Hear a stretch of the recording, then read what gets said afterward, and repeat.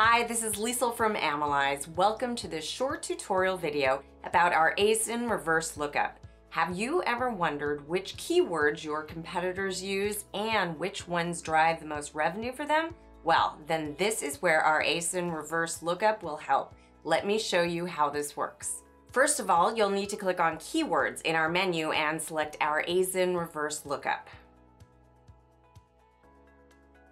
After you've done that, you can choose a marketplace by clicking on the marketplace name. That leads to a drop-down menu which shows all the marketplaces we're currently monitoring in Amalyze Shield. Once we've chosen our marketplace, we'll enter the ASINs we want to get the keywords for. Here we can also decide if we want to consider the ASIN's variants or not. If so, we'll get all the keywords for all the variations we've entered. Just remember, you can only put in up to 25 ASINs at once. Now click submit and it'll show us all the keywords that these two ASINs and all their variants are ranking for.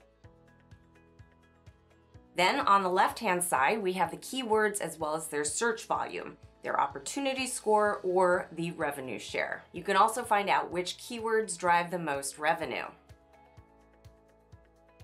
Of course, we can also sort by the columns, such as revenue share. And the keyword with the highest revenue share, Apple Watch in this case, will show up at the top of our table.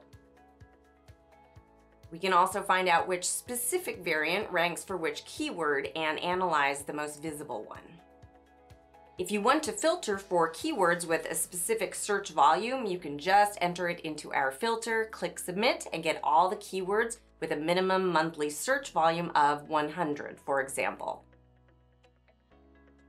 We can also filter for keywords containing a certain word or phrase. For example, let's say we only want keywords which contain the word watch.